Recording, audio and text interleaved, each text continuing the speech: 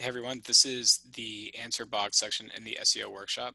So the answer box here uh, happens when Google takes your snippet of your web page and they showcase that at the top of the results.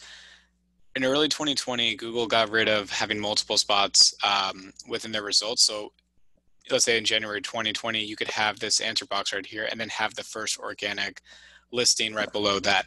Google got rid of that. So now if you get into the answer box, you only have that. You don't have any of the organic listings below that. So for the term handicap parking, Kauffman Stadium, my site ranks at the very top of Google. I'm right there with the answer box. I'm going to break down how this actually works. So the image is right here for my site, the Stadium Reviews.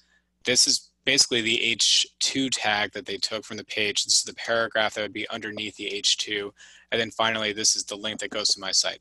So I'm going to click on that to explain this a bit further.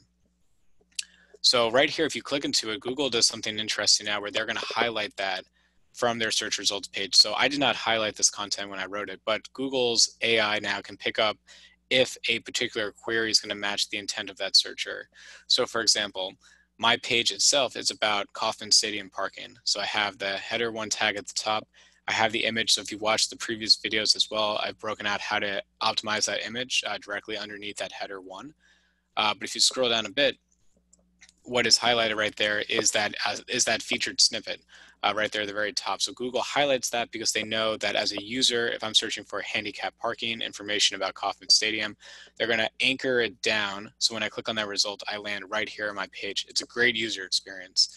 Uh, also, if you do a voice search on Google, uh, if you use um, the Google Voice search on, on the app or use Google Now um, or even Google Home, if you ask this question, I'll actually read off the snippet to you, uh, which is pretty neat. So a couple of things to remember to rank at the very top one. Ask the question as an H2 tag. The header 2 tag has more weight than simply just a paragraph. Uh, the second thing is you need to answer the question in about two or three sentences. So if you have a header tag that says, you know, Kauffman Stadium parking handicap spots, in the next two or three sentences, you have to go over basically all the rules um, of it. You know, what time you can show up there, how it works for the first come first serve. If there's anything you need to do with your handicap um, uh, ticket or pass that's on your card, if you need to have like the sticker on your license plate as well. So it goes over all this information if it's needed for this particular query. So uh, just again, I'm going to go back into Google.